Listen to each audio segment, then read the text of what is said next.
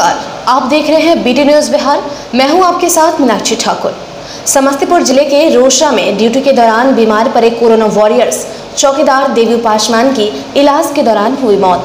बताया जा रहा है कि मृतक कोरोना वॉरियर्स के रूप में रोसड़ा उच्च विद्यालय में बने क्वारंटीन सेंटर में ड्यूटी कर रहे थे। ड्यूटी के दौरान ही इनकी तबीयत बिगड़ गई, जिसके बाद परिजनों के द्वारा उन्हें सदर अस्पताल ले जाया गया, जहाँ डॉक्टरों ने डायबिटीज़ बताया। तथा किसी अच्छे चिकित्सक से इलाज की सलाह दी। परिजनों ने इस जिसके बाद परिजनों ने इस कोरोना वॉरियर्स का समस्तीपुर के एक निजी नर्सिंग होम में इलाज कराया, लेकिन वहाँ भी इनके इलाज में सुधार नहीं हुआ। जिसके बाद इन्हें पटना आईजीएमएस रेफर कर दिया गया, लेकिन लॉकडाउन की वजह से वहाँ भी भर्ती नहीं लिया गया। अंत में बेगूसराय के एक अस्पताल में डायलिसिस के दौरान उन्होंने ज़िंदगी से हार मान ली।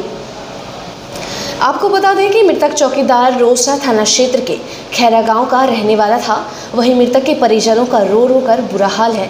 साथ ही रोसड़ा थाना में भी शोक व्याप्त है। ये मतलब हायर सेकेंडरी पर ड्यूटी कर रहे थे। वहीं पर इनका पैर फूल गया था। जब ड्यूटी से आए तो हम लोग इनको ले गए। सदर अस्पताल तो सदर अस्पताल में इनको जो है सो बोला जो कहीं अच्छा डॉक्टर से आप इलाज करवाइए, इनका जो है डायबिटीज़ है। तो हम लोग ले गए इसी क्रम में समस्तीपुर उठा के समस्तीपुर में उन्होंने दवाई दिए उसके बाद इंदिरा गांधी हॉस्पिटल, आईजीएम्स में रेफ़र किए थे। हम लोग वहाँ गए, वहाँ से लौट के चले आए लॉकडाउन के कारण। वहाँ पर भर्ती लिया नहीं।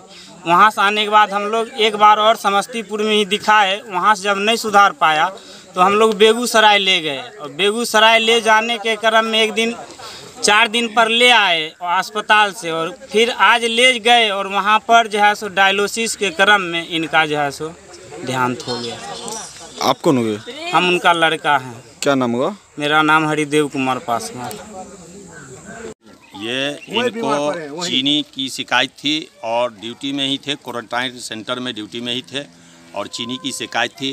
मैं समझता हूँ लॉकडाउन के कारण उचित इलाज इनको नहीं मिल पाया। पटना भी ले जाया गया, दरभंगा ले जाया गया आईजीएमएस में भर्ती नहीं लिया लोग पीएमसीएच में भर्ती नहीं लिया डीएमसीएच में भर्ती नहीं लिया और तब किसी तरह से हम लोग पास वगैरह बना के लोकल प्रशासन से बेगूसराय में निजी क्लिनिक में भर्ती करवाए और वो वो आज एक्सपायर कर गए।